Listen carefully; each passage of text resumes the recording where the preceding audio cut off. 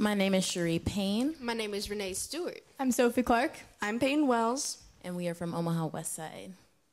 There is a time and a place for everything. There's a certain time of the day where the sun sits up high in the sky and when the moonlight comes and illuminates my room. There's a time when politics matter most and campaigning is a time to boast and when children look to shallow politicians as their hero. But where do I fit in as far as a time and place? What time of night should I call you to tell you that my father came home drunk again, cussing and fussing? Someone please tell me the place where it is acceptable to share how I feel pressured and alone. The red and blue flashing lights pierce the night with a sudden stroke of colors as the questions arise.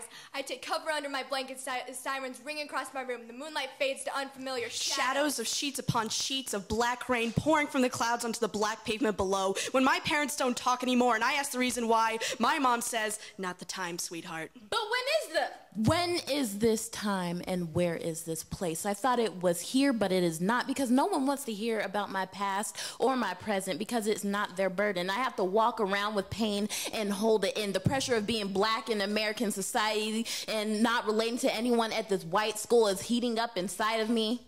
In my heart, in my heart, I know whose voice those screams belong to. The shots to let them go. Your blank stare in the morning, giving nothing away. The truth hides in your unspoken voice. The words I need to hear. I ask. I ask the reason why. When my arms are battlefields where trenches are dug, every night I try to sleep. When is the time for me to say that the trenches are getting deeper and deeper and soon I'll fall into one myself? And now we must stride to fix ourselves before we all dig trenches that turn into graves.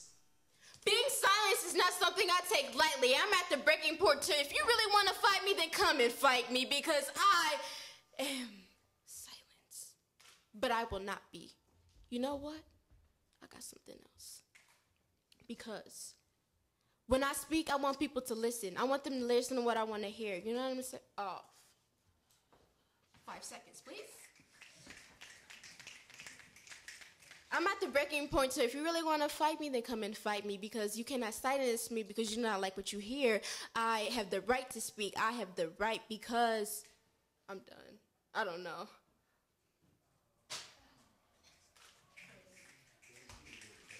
But